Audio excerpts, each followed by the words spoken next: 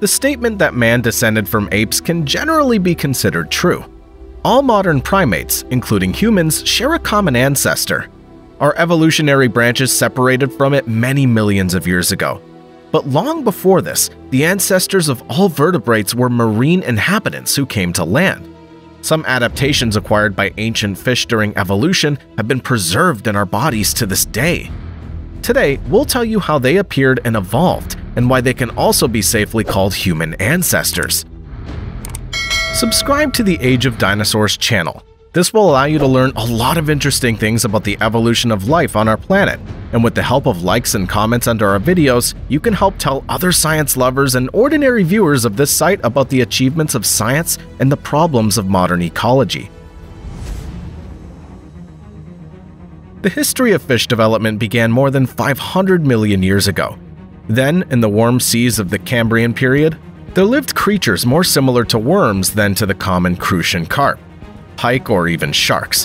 One of them was a strange creature called Pikaia.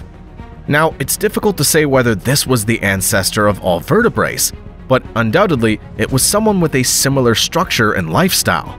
The remains of this creature were first discovered more than 100 years ago in the Canadian Rocky Mountains. Researcher Charles Walcott, when describing the find, classified the Pikaia as a bristle worm. This happened due to the ring structure of the body and the antennas on the head. Much later, other paleontologists drew attention to the strange feature of the body of this primitive animal. Firstly, the Pikaia discovered a notochord, an elastic organ stretched along the entire body which became the prototype of the future spine. And secondly, the structure of its muscles turned out to be characteristics of later chordates. The age of these remains was about 500 million years ago. It became the oldest chordate known at that time. This find confirmed scientists' assumptions about the time of their origin.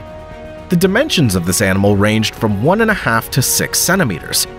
There were two fins on the back and belly of the elongated body.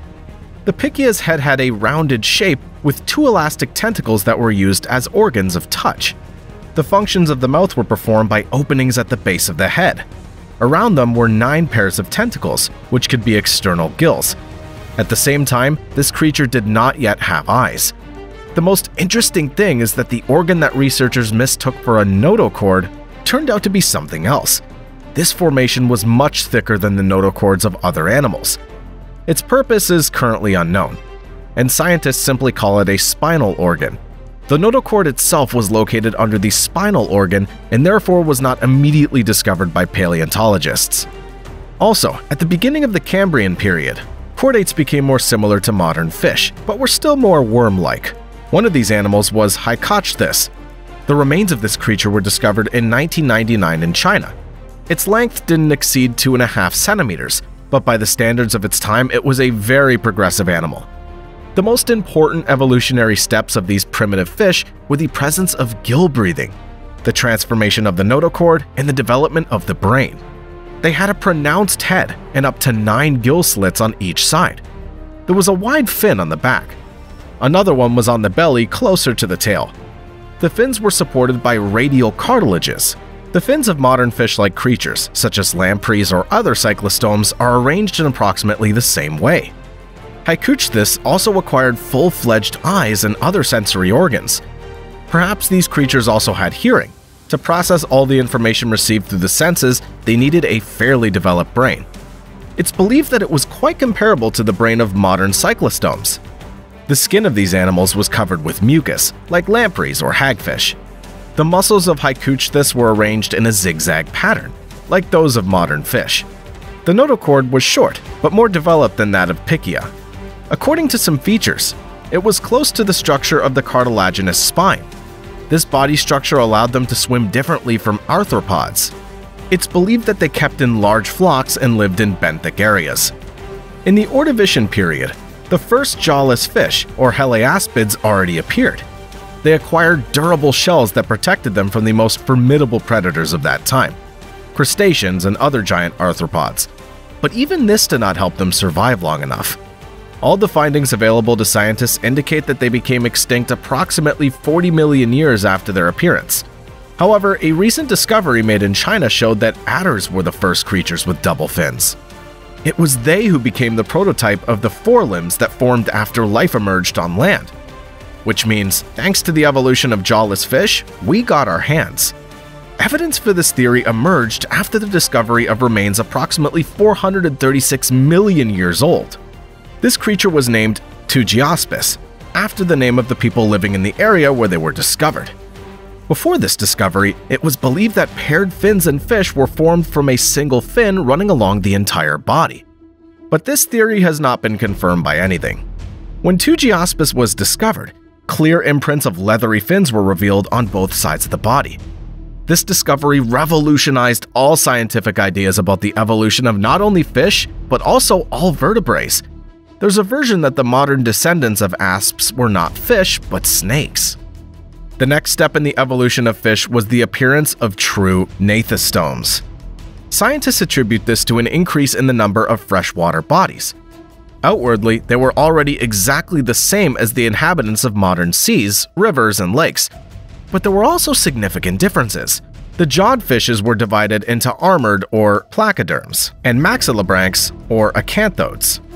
But despite the presence of powerful armor and large sizes, armored fish became completely extinct approximately 350 million years ago.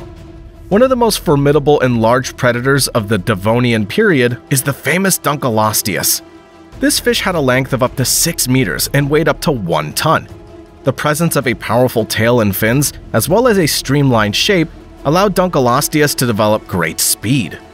But the main weapon of this giant was its powerful jaws, capable of biting any prey almost in half. Acanthodes took a completely different path of development. They were not large in size and grew a much larger number of fins. Some of them had 6 to 7 pairs of fins. Later, some of them were transformed into sharp spines, which served for protection from predators. There's also an assumption that with the help of such unusual fins, it was easier for fish to move through shallow rivers overgrown with aquatic plants. The largest of them did not exceed 2 meters in length, but the remains of acanthodes are found almost all over the globe. Moreover, among them there were both predators and those who ate plant foods. Some acanthodes fed on plankton, and they all swam much faster than placoderms. But they lived 100 million years longer than their armored relatives, New varieties of fish originated from them, some species of which became the first animals to reach land. And if these underwater centipedes had decided to come to land, then the history of the development of life on Earth would have taken a completely different path. There probably wouldn't be any dinosaurs or mammals, or maybe we would just have more limbs.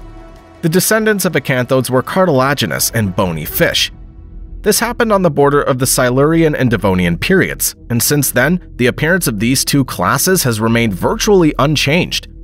It's believed that they originated independently from different species of gnathostome fish. Modern cartilaginous fish include sharks, rays, and chimeras. They never acquired a swim bladder and some other adaptations characteristic of other classes of fish.